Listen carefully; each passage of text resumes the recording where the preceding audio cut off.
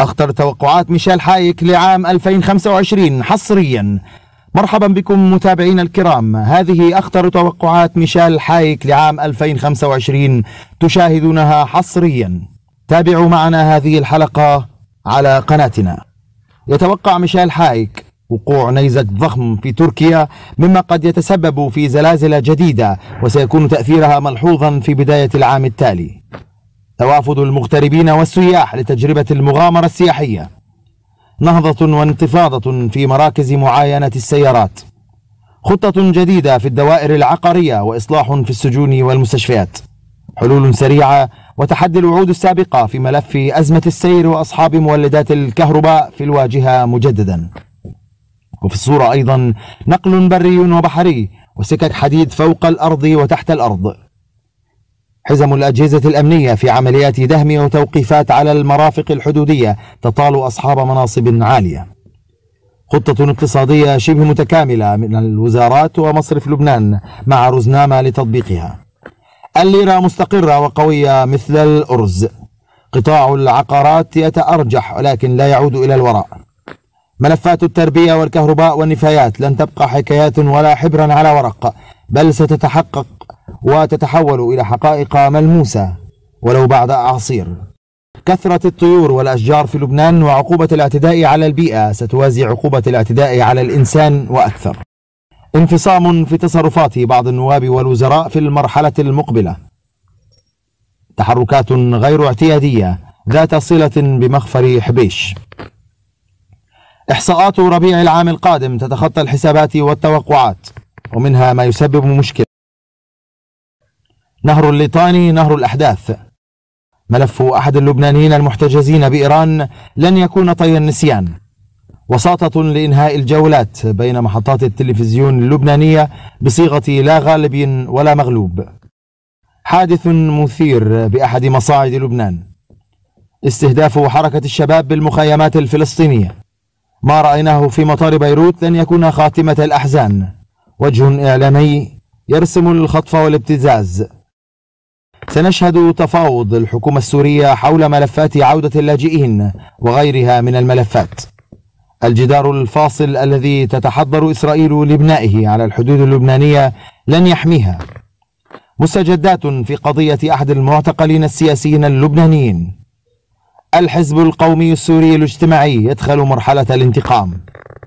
قانون إعدام محدود وقانون عفو على بعض المعتقلين السياسيين. تشكيل جبهة هدفها خرق تركيبة العهد في لبنان.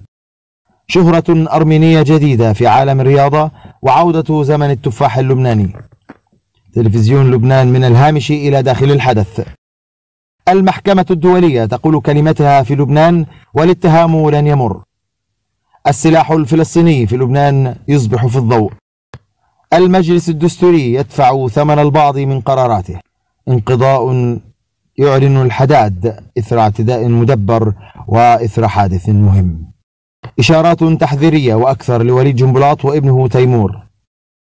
سقوط قناع عن أحد الشخصيات على أحد معابر لبنان. ظهور ولد صغير يملك قدرات خارقة واهتمام الأولاد بالماورائيات. تحركات غير منضبطة داخل حركة أمل. الفصل الأول مخطط ضد نادر الحريري. سلاح حربي يصيب إحدى الطائرات.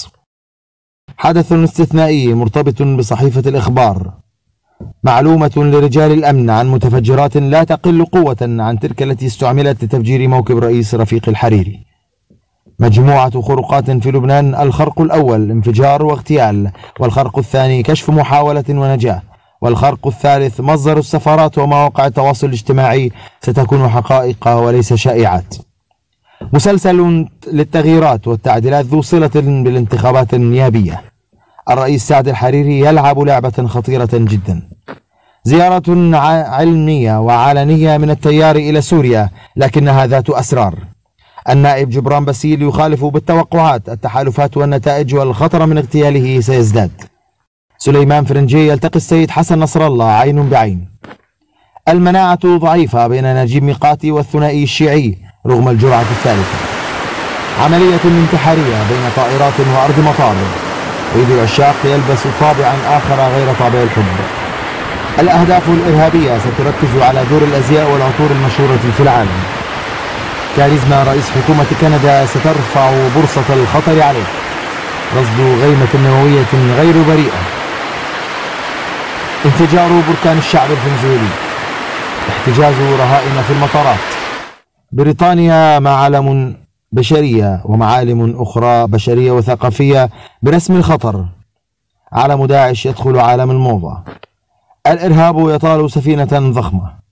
في فرنسا فصل رابع من فصول الإرهاب وتركيز على معالم دينية إسلامية ومسيحية.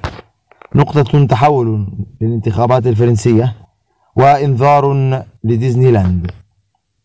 بلبلة واسعة في إطار صناعة السيارات الفرنسية. في ألمانيا اضطراب مالي واقتصادي.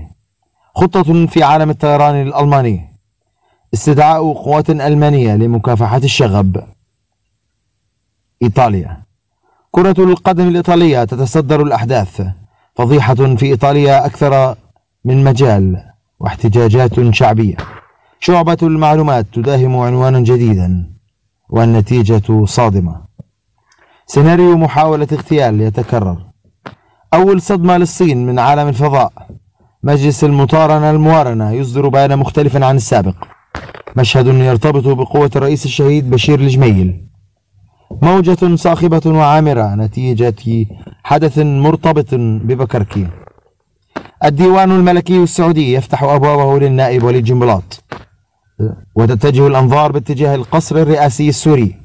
دخان أسود نتيجة نار ودمار ودخان أبيض من شباك القصر تطل من خلاله شخصية معروفة لتعلن خبرا للجميع. زحمة في المراكز التجارية وسياحة ناشطة في لبنان ستشمل السياحة الدينية أيضا. بأسلوب قاس وصادم يشبه العقوبة ستفرض الإقامة الجبرية على عدد من الوجوه والشخصيات. موجة استنكار في خلدة أعنف من كل ما هو سابق. قرار شجاع ولو مكلف يأخذه طلال أرسلان. أعمال مشبوهة تخص المناخ الزحلاوي. ما لم يحصل سنشهده في سجن رومية وغيره من السجون اللبنانية. قوات سوريا الديمقراطية تتصدر المشهد.